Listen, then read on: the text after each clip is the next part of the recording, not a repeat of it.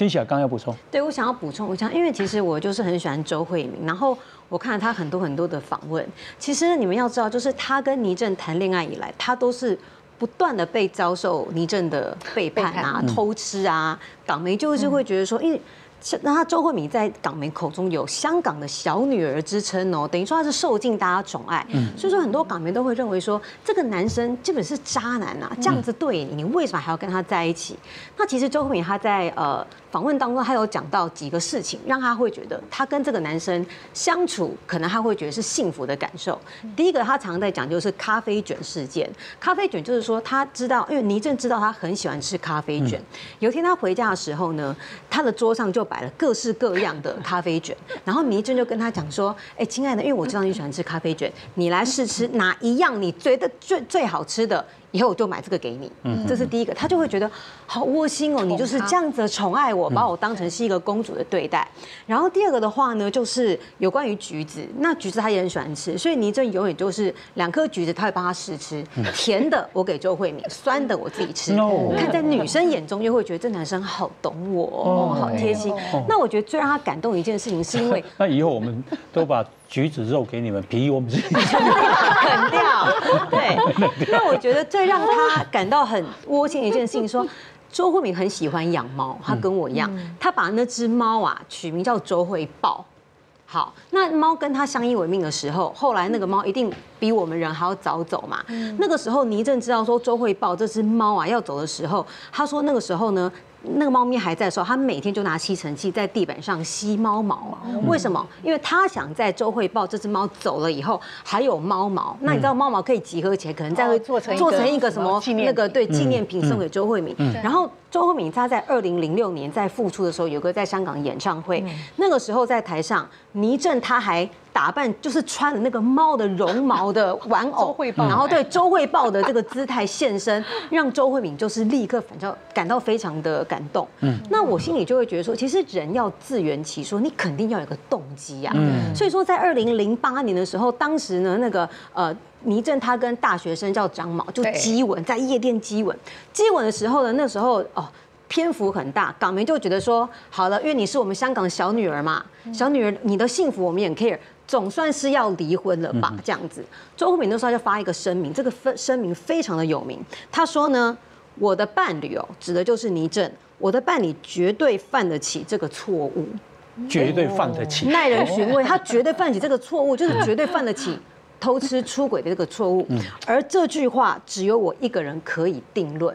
你们其他人都不准讲嘛，因为我是他枕边人，就只有我可以说他。没资格，对，们都没资格。那我就心里就会觉得说，哇，所以他好像这句话给我的感受是，他很知道这个男生的个性，嗯嗯，是什么样的烂个性。哦，可能他就花心，嗯。可是也许他顾及到我的动机，就是他确实是满足我，我对于幸福的一种。定义，所以我很愿意跟他在一起哦。所以其实呢，后来倪震因为二零零八这件事情，虽然说他们十三天以后就呃立刻就结婚了，那其实这件事情倪震他有在呃新闻媒体面前崩溃就大哭嘛，啊说我是瘟神呐，我对不起周慧敏。可是呢，他后来也因为也呼应了周慧敏这个声明，他说我们的彼此是不可分割的，嗯，好，就是我再烂，他也没有要抛弃我。我们不可分割。然后周慧敏再说，他说其实呢，我们绝对不是在一般人的准则下相爱哦。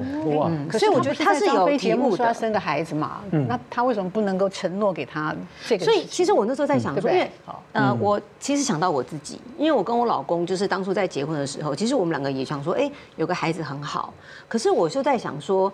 当你们两个已经相处到哦某一个很有自己的默契的时候，你们可能淡淡就会觉得说，哎，这个感觉也还蛮好的。那我是不知道是因为周慧敏她看着这个眼中的男人，她认为，哎，既然我们这个不是一般人的准则下相爱，嗯，那也许我必须要抛开一些。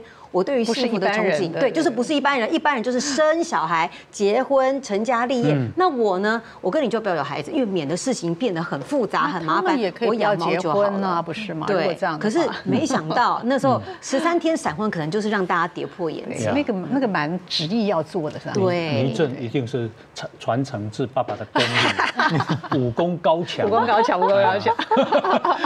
不过再请教王医师哦，对，跟我讲自圆其说，顾料一巴比不？还是讲会烦不会忝不？嗯，不行。其实自圆其说是一个必须要不断再加强的过程。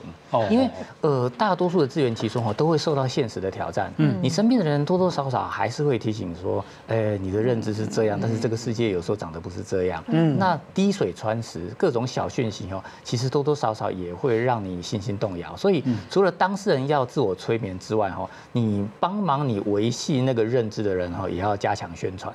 所以没有一个宗教哈不会定期的办法会，也没有一个政党不会定期的去做政治上面的宣传。我一定要不断的重复再重申一些东西。然后倪震也可能需要除了猫跟咖啡卷之外呢，还要每天都去找寻各种周慧敏喜欢的小东西，用各种小事情来去告诉你说，我永远在意你，你永远都在我心中。懂 了，斑鸠一定是他放的，他是截图的，截图。对啊，那演艺圈里面啊，有没有人也是抱持啊这对婚姻的自圆其说？我觉得哦，在我的观点啊，他是很经典的，在自圆其说。也许大家你们不觉得，或者说他本人自己不觉得，嗯，但我觉得可能很多人跟我一样，觉得他就是就是我们的永远东方不败林青霞哦，嗯，因为他结婚到现在三十多年了哈，生了两个女儿，女儿也很大了，嗯，但是你知道吗？他这个婚前到婚后，因为他的新闻我们一路这样跑下来，那改变真的非常非常大。你想想看，世纪婚礼在那个在那个 San Francisco，哇，那个是。几万朵香槟玫瑰啊，什么什么这样？那我最记得说，当天晚上了哈，我们还出动我们那时候的王孝兰发行人去当里面的贵宾呢哈，偷拍照片传出来，因为他不让媒体去，就这样传出来。然后我记得那时候林青霞曾经在事后，她有讲，就说她当天晚上她是从他们家的门缝啊哈，看着外面的一排的记者，她就觉得说，哇。我的结婚竟然这么的轰动，这样，所以她其实是很 enjoy 在那个 moment。那行李员也给大家都拍了这么多的照片，然后他也知道他娶的是个天王巨星。之后几年内啊，他们其实常常会想出来啊，这样这样挽着手啊，参加那个香港很多 party 啊，那个什么他都会去。可是，就当他升到老二之后啊，哈，其实已经渐渐行李员就不出来了，他们两个出双入对就没有。那这样当然就是传言会一直出来嘛，哎，婚姻触礁了。好，那是夫妻都不出现，怎么在香港这个名流圈没有人这样的？哎，然后就问行李员，就说：哎，不要问，不要写，不要拍，要不然呢？听说了哈，我听香港记者跟我讲说，他们禁忌是不能写行李员跟林青霞怎么样，不然就第二天就那些测广告，会这样子，所以他们都不敢写。他们说：啊，你你问问就好，你你我们这边不能写了哈，那你们要怎么写？不管你这样子，所以就说为什么要这个样子？哈，这个转变真的蛮大的。好，后来呢就传出来说，哦。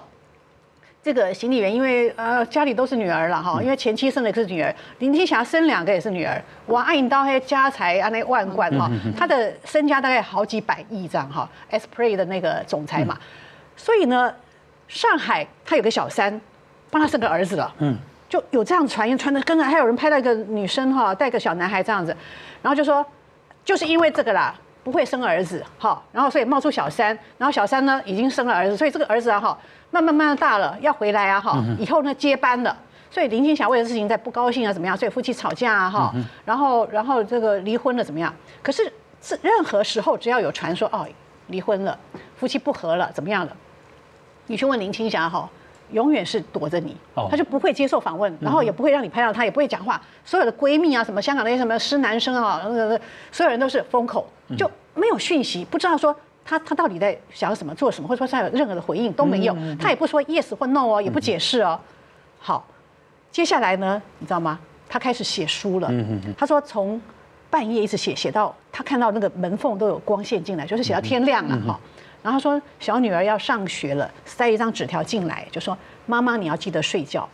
那这样子不表示不是有表示说，一看因老公没困这会啊，那我可怜写写作写一个晚上啊，那个他说他一直丢字纸都丢那个丢掉灯板出来，然后就写不不不满意这样，所以他第一本书是这样诞生的，后来又写第二本，后来写第三本，好一直写一直写，写故事越写越多。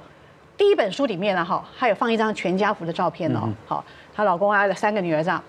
第二本没有放，到第三本的时候，这次啊哈就大家就忍不住了，就说。因为在二零一八年的时候才没几年，那时候有传说是一个香港的一个名媛呐，哈，也是曾经是演艺圈很红的人，回来台湾的时候就说跟朋友聊天，哎，不经意聊天的时候，人家就问说，哎，林青霞啊，过得怎么样？你们不是好朋友？他说林青霞离婚了呀，就说这个名媛这样脱口而出啊，好像是周刊写出来的啊，离婚了啊，拿了二十亿，就是港币二十亿。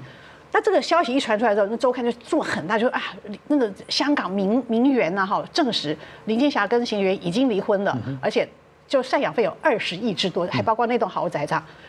当下，包括我们要去找林青霞，或者是他的什么周边的朋友啊，或者说他最好的朋友，所有人就封口，也是不讲不讲。但是你知道吗？最近他这第三本书里面，终于露出这个蛛丝马迹了，而且他上节目。也亲口提到他先生，提了一点点，但是我觉得很值得玩味了哈。他去上节目的时候，人家问他说：“那你可不可以讲一点点？就说你先生，你先生的名字可不能讲。”他说：“我觉得这个非常非常值得大家去去探索，我觉得很有深意在里面。”他说：“那个我先生啊哈，为了娶我付出最大代价。”嗯嗯嗯。这个好，然后呢，最大代价是什么？因为。